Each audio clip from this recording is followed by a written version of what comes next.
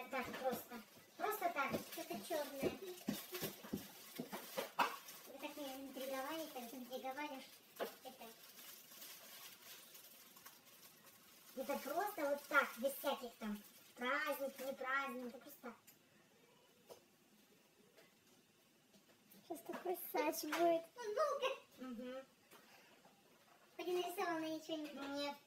А? Нет. А он Нарисовала? Смотри, смотри, разворачивай. Нет, с другой стороны переверни. Подожди, подожди. Нет, она все правильно делает, теперь его пускай развернет к себе.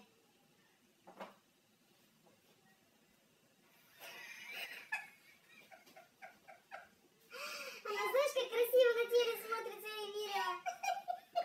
Даже сейчас на вид. Ты прикинь, так блядь, ты просто туда вырулишь, как отец, он не сможет, блядь, нормально к этому отнестись. Ой, shit. Вот такая сексуальная женщина сегодня. Подарила дочка футболку. Одеваю только в огород. И то соседа стесняюсь, а вдруг? Это смущается мужчина. Такой соседки. Вот вроде футболка, да? А чувство в ней себя неловко. Ой, черти что придумали. Ж надо, а? Такое нарисовать. Это ж надо такое нарисовать. Но размерчиком угадали, ага, угадали. Как раз мой размерчик. Вот я хожу среди помидор, чтобы помидоры были вот такие крупные.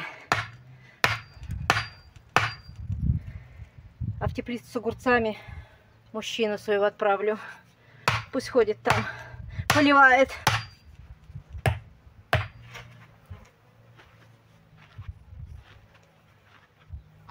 А я уж к огурцам не пойду. Опасно. Ну все вроде, все. Готово, осталось подвязать. И растите помидорки на радость.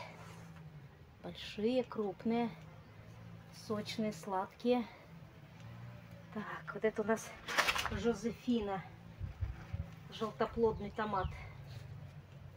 Сердцевидный. Три кустика. Дальше пойдет буфало стейк. Гибрид. Мощный, высокорослый, крупноплодный. Ну вот, падает. Ну все, подвязывать надо. Пошла за веревочками готовить ленточки. На подвязочке у меня идет все. Старые простыни, наволочки, пеленки, распашонки.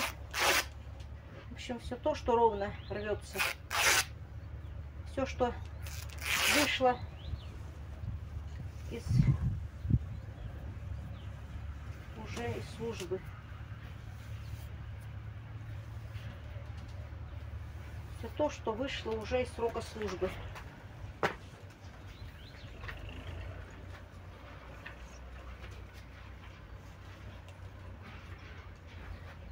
Ты какая шикарная двухвилочная помидорка.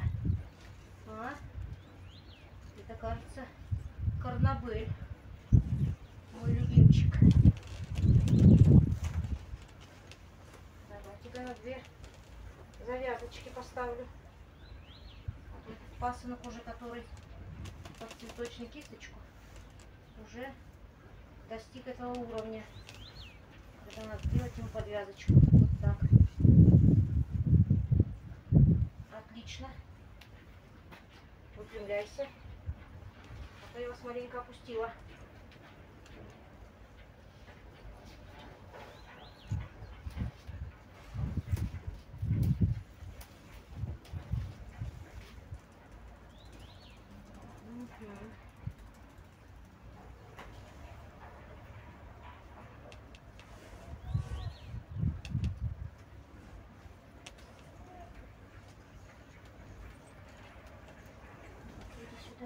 Красавец. Я сейчас еще прихвачу так, ты шел ровненько. Так. Ну вот, есть вот томатик еще у меня не посынкованный. Вот видите, какие уже пасынки большие. Но я их все равно удалю, потому что это необходимо их удалить. И удалю точно так же, как удаляю маленькие пасынки. Оставляю пенечки. Это для того, чтобы там не, не образовывались опять почки роста. Вот таким вот образом я их удаляю. Называется пасынкование. И удаляю нижние листочки, чтобы не было соприкосновения земли для возбуждения грибковых заболеваний. Не подхватили на себя они. Вот тоже пенечки оставляем, пасыночки убираем. А вот этот пасынок, который находится ниже, ниже, ниже вот этой вот цветочной почки. Не почки, а кисточки. Вот он цветочная. А вот еще один пасынок пошел. Вот этот пасынок я еще оставлю для дополнительного развития и для дополнительного урожая. Он еще мне дополнит. Там почти в середине уже начинает цветочная почка начинаться, да. Это будет две развилочки, можно сказать. Вот центральный стебель, а это будет пасынок. Вот дополнительный пасынок для томата. Вот также на этом томате я оставила. Вот видите, как пеньки. Вот пенечек. Нет, вот прищипочка вот еще сделаю. Вот там пенечки остались у меня. Листочки я нижние удалила. И вот идет у нас пасынок.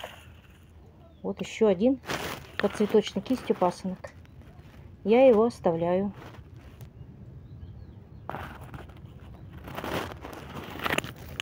Также вот в этом томате то же самое.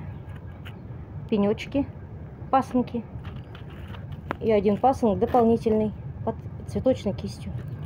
Вот он оставленный. Это будет дополнительная кисть, дополнительные томаты. Хотя у томата есть развилочка. Ему и так достаточно, казалось бы, правда? Вот уже дополнительная. Это разновидность томатов есть такая, которая сразу выпускает две вилки. Ну, я еще оставила ему детеныша, пусть растет. Томаты сильные, поднимут.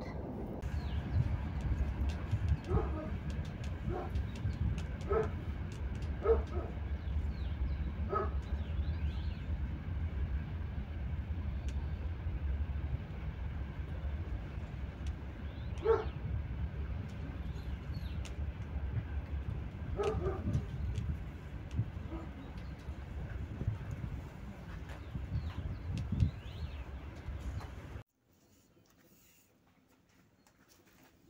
последний кустик на сегодня подвязки.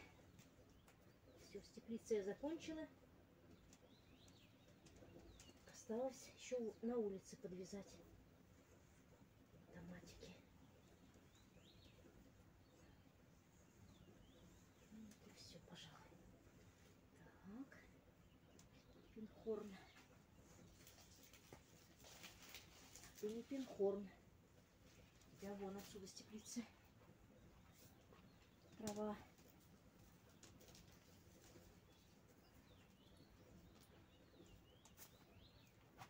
Вот и все. Дело сделано.